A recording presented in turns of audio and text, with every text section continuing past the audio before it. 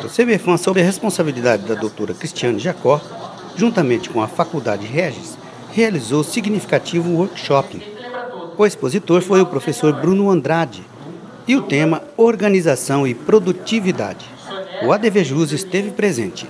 Nós estamos hoje celebrando um ano de atividades do Semifam. Hoje é, é o nosso último evento público. Nós ainda teremos atividades internas né, do nosso grupo, mas hoje nós tivemos um grande presente do palestrante Bruno Andrade, que nos presenteou mesmo com um workshop maravilhoso sobre organização e produtividade.